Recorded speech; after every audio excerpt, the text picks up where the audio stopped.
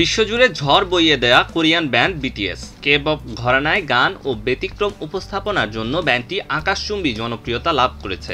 সঙ্গীতের সেরা পুরস্কার, গ্র্যামি কিংবা বিলবোর্ড অ্যাওয়ার্ড সবকিছুতে নিজেদের অবস্থান জাহির করেছে তারা। এমনকি জাতিসংঘের সদর দপ্তর থেকে হোয়াইট হাউস সবখানেই পৌঁছে গেছে দলটি।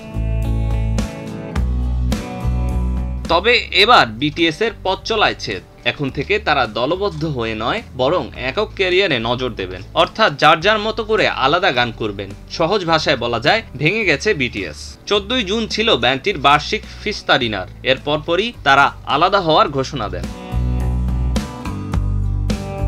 সম্মিলিতভাবে তারা এই সিদ্ধান্ত নিয়েছেন। কিন্তু বিটিএস এর এমন ঘোষণায় তাদের ভক্তদের মনে বিশাল এক ধাক্কা দিয়েছে। বিটিএস এর অন্যতম সদস্য আর এম বলেন, আমি সবসময় বিটিএস কে অন্য ব্যান্ডগুলোর চেয়ে আলাদা ভেবেছি। কিন্তু কে পপ ও পুরো আইডল পদ্ধতির সমস্যা হলো, এটা আপনাকে পরিণত হওয়ার সুযোগ দেবে না। আপনাকে গান চালিয়ে যেতে হবে এবং কিছু না কিছু করতে হবে। এক ভিডিও বার্তায় ব্যান্ডটির আরেক সদস্য সুগা বলেন, আমরা এখন আলাদা হয়ে যাব।